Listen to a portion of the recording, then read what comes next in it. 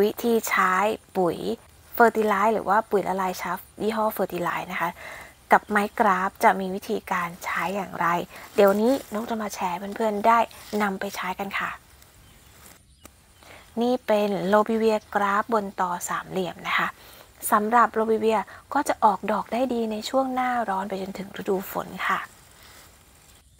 ดังนั้นนะคะ ช่วงฤดูที่เขาออกดอก ก็ไม่ควรให้เขาขาดปุ๋ยค่ะ ก็คือปกติแล้วปุ๋ยเฟอร์ติไลซ์นะคะ นกก็จะใส่ทุกๆ 4-6 เดือนครั้ง ถ้าช่วงที่เขาออกดอกเนี่ย ครบ 4 เดือนเมื่อไหร่เราต้องใส่ทันทีเลยค่ะ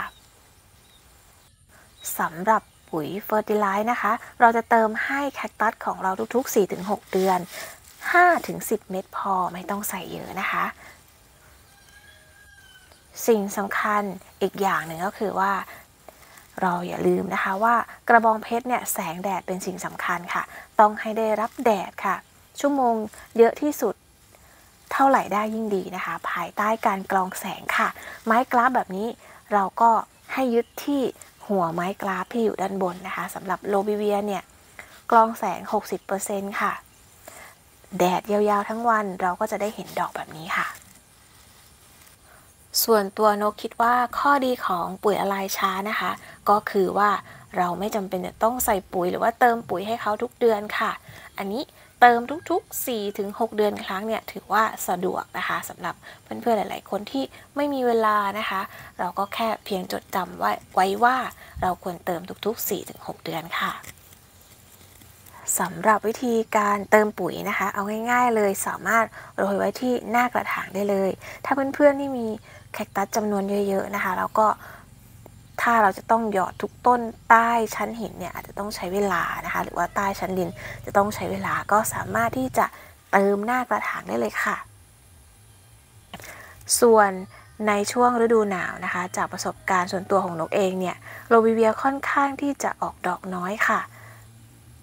ช่วงนั้นนกก็จะเว้นการเติมปุ๋ยนะคะ จะเริ่มไปใส่ปุ๋ยอีกทีนึง หรือว่าเติมปุ๋ยอีกทีนึงช่วงประมาณเดือนกุมภาค่ะ อันนี้สำหรับอากาศเมืองไทยบ้านเรานะคะ ที่มีอากาศร้อนค่ะ และก็คำถามที่ได้รับบ่อยนะคะ ไม้กราฟควรที่จะเปลี่ยนดินเมื่อไหร่นะคะเวลาที่เปลี่ยนดินหรือว่าฤดูที่เปลี่ยนดินเนี่ยนกก็จะแนะนำให้เปลี่ยนดินในช่วงมกรากุมภานะคะ เพราะว่าเมื่อเราเปลี่ยนดินช่วงนั้นนะคะ พอเข้าช่วงเดือน มีนาเมษาดอกก็จะมาแบบเต็มเลยค่ะ อย่างน้อยๆเลยนะคะ 1-2 ปีก็จะดีมากๆสำหรับการเปลี่ยนดินค่ะ แต่สำหรับตัวนกเองคิดว่า 8 เดือน 10 เดือนเนี่ยก็เต็มที่สำหรับตอกราฟแล้วค่ะ เพราะว่าตอกราฟเนี่ยค่อนข้างกินอาหารเก่งค่ะ สารอาหารก็จะหมดเร็วกว่าแคคตัสธรรมดาทั่วไปนะคะ ลักษณะของเม็ดปุ๋ยนะคะ ก็จะเป็นสีเทาๆแบบนี้ เท่าที่นกใช้ดูนะคะ ก็เป็นปุ๋ยที่ละลายช้าๆ แล้วก็ไม่เหนียวติดมือนะคะ